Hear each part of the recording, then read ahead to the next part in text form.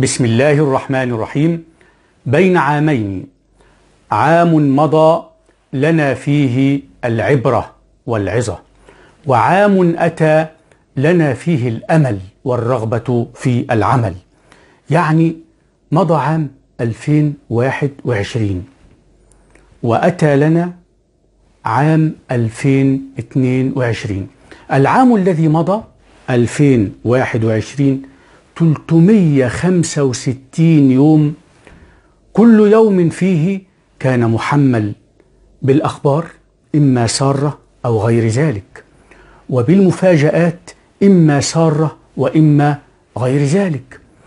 في العام الماضي كان يمضي كل يوم من 365 يوم سفينة العام اللي هو عام 2021 هذه السفينة تمضي كل يوم يمر ناس بتنزل يموتون وناس تانية بتركب تلك السفينة يدخلون إلى الحياة سفينة الحياة. ناس بتنزل للموت وناس بتصعد على تلك السفينة يولدون للحياة. كل يوم كان بيحمل من هذا الكثير والكثير. 365 يوم. فارقنا فيهم أناسا كثيرين. كان يعز علينا منهم من يعز وكا ومنهم من نعرف ومنهم من لم نعرف مضى عام. وفي هذا العام أيضا في سفينة عام 2021 حملت الخيرات لأناس كثيرين.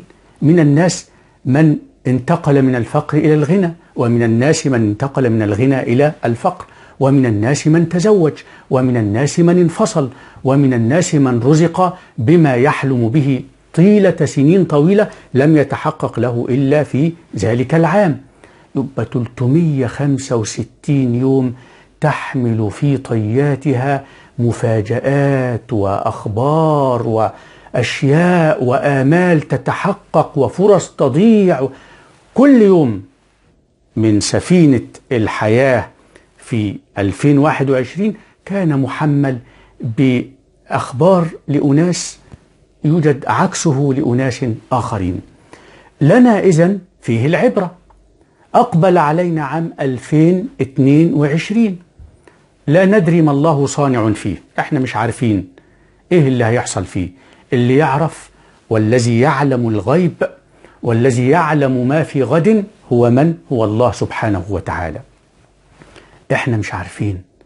بكرة يأتي لنا ماذا يحمل من الأخبار والأسرار والمفاجآت وتحقق الطموحات ويبقى إذن العام سيأتي 365 يوم نسأل الله أن يمر كل هذا العام على الجميع بالخير وأسأل الله أيضا أن يمر على المصريين جميعهم بالخير واليمن والبركات وأنتهز هذه الفرصة لأهنئ جميع المصريين بالعام الجديد كل عام وحضراتكم بخير كل عام وحضراتكم بخير.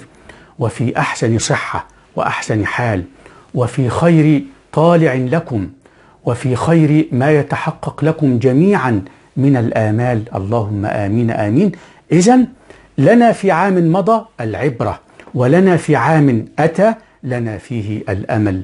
والرغبة في العمل والتفاؤل بالخير وننتظر من الله ما نحسن به الظن. إحنا نحسن الظن في هذا العام.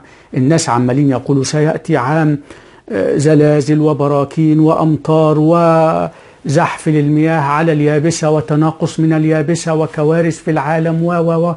الناس يقولون ونحن نقول إنهم يقولون ما ليس في أيديهم وما لا يصل له علمهم إنما علم ذلك كله عند الله ونحن نحسن الظن برب هذا الكون وهو عند ظن عبده به سبحانه وتعالى ونحن نظن به خيرا ونتمنى منه الخير وأن يجري المقادير التي ترضيه وترحمنا ونتفاءل بها سبحانه وتعالى والله عز وجل أرحم بنا من الأم الشفيقة بولدها كما قال النبي صلى الله عليه وسلم يعني رب العالمين هو أرحم الراحمين فنحن نأمل من الله الرحمة والخير والبركة والرضوان وأن يكون عام بركة في ديننا وفي دنيانا. اللهم آمين آمين آمين.